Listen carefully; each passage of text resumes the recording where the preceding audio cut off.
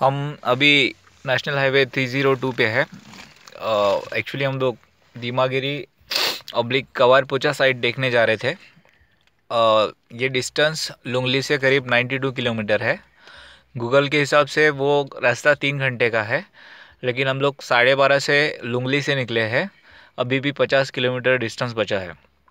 अच्छा दूसरी बात यह है कि आप वीडियो में देख सकते हो कि दुनिया भर के पहाड़ है आजू बाजू में, जंगल इलाका है।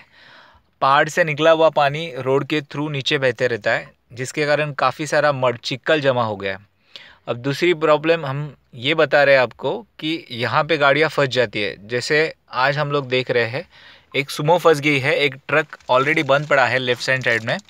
सुमो उसको क्रॉस करके जाने की सोच रही थी, लेकिन वहाँ पे चिक्कल में फंस गई है। तो आप समझ सकते हैं कि ऐसे स्थिति में हम लोग क्या करें। अगर ऐसा ही चलता रहा तो हम लोग ये सर्वे नहीं कर पाएँगे।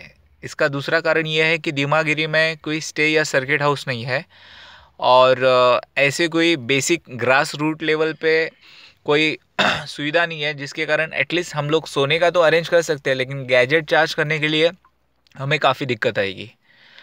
तो ये हमारा अब तक का 50 किलोमीटर पहले का दिमागिरी का स्टेटस मैं आपको बता रहा हूँ। अगर ट्रैफ़िक क्लियर होता है तो शायद रात होने से पहले हम लोग वहाँ पे खाली पहुँचेंगे।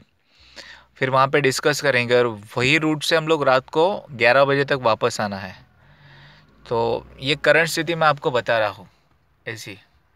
आप देख सकते हैं वीडियो में अभी भी लोग प्रयास कर रहे हैं गाड़ी निकालने का, लेकिन कर नहीं पा रहे हैं। पीछे भी आप देख सकते हो, काफ़ी सारा मड है। दुनिया भर का जंगल है, यहाँ पे अभी बजा है अराउंड थ्री थर्टी यहाँ पर डेढ़ घंटे बाद अंधेरा हो जाएगा। तो ये काफ़ी डिफ़िकल्ट स्थिति है हमारे लिए सर्वाइव करने के लिए। अभी के लिए मैं ये वीडियो क्लोज़ करता हूँ। आई होप सो हम लोग यहाँ से जल्दी निकल पाएँगे। या thank you thank you very much